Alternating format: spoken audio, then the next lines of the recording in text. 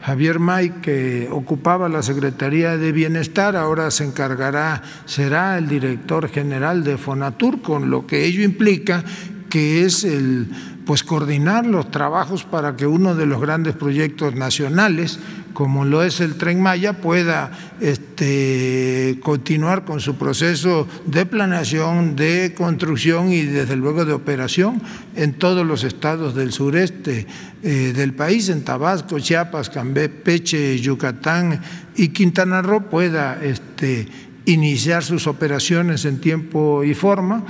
eh, pues Javier es un político experimentado, es un compañero eh, honesto, un servidor público eficiente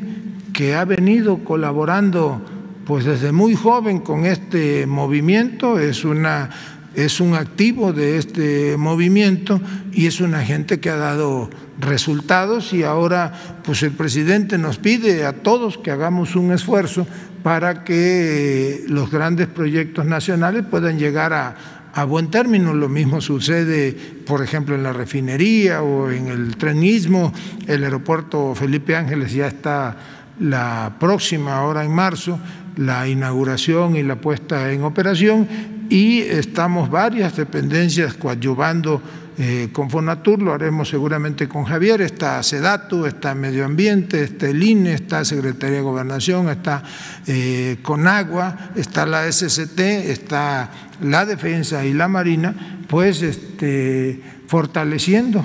los trabajos eh, del Tren Maya y en esa lógica, pues Javier se encargará de coordinar eh, los esfuerzos de, todo el gobierno federal y mantener la interlocución con los inversionistas privados, eh, de las constructoras y desde luego en atender todo el asunto social que una inversión pública de esta magnitud pues conlleva.